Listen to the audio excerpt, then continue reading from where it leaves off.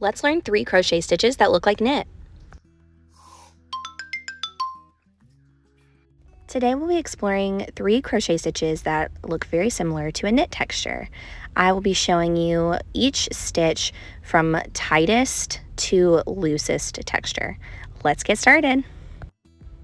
I'm using Lazy Days medium weight yarn in a 4 millimeter hook today. The first stitch is slip stitch in the back loop only. You start with any number of chains and in the second chain from your hook. And to slip stitch, you insert your hook, yarn over, pull up a loop, and pull the second loop through the first loop on your hook. And it's that easy. You'll just keep continuing to do this to the end of the row.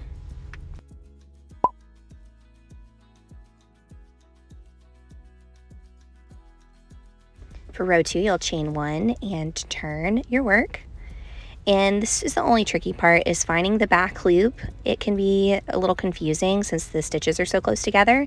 You're gonna flip it to the top and then find that back loop.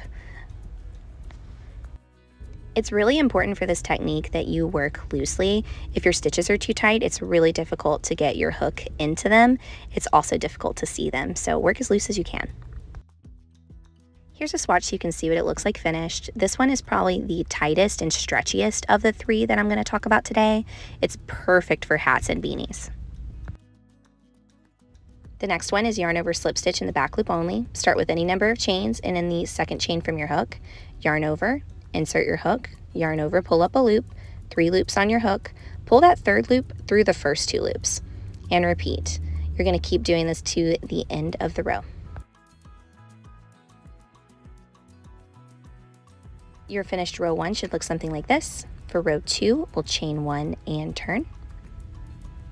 And again, you'll want to flip your work up to be able to find that back loop only. And we'll do the same, we'll yarn over, insert into back loop only, pull up a loop, pull through those first two loops.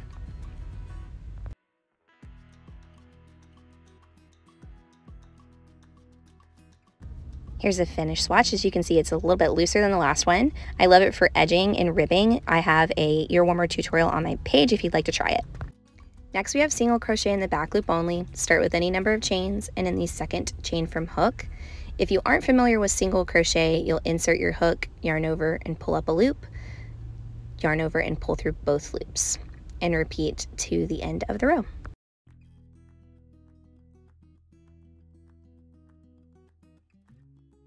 To start row two, you'll chain one and turn, and we'll find the back loop only of that stitch by flipping up.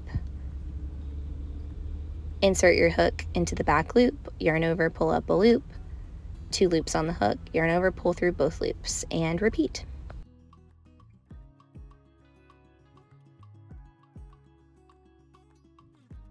Here's a finished swatch. I love this stitch for sweaters. It can make really great cuffs as well. I highly recommend it. It's super easy and simple. If you're already familiar with all three of these stitches, I also have a camel stitch tutorial right here that I think you'll love and is a little bit more advanced. I've got a ton of tutorials on my page. Be sure to check those out. And until next time, happy crocheting.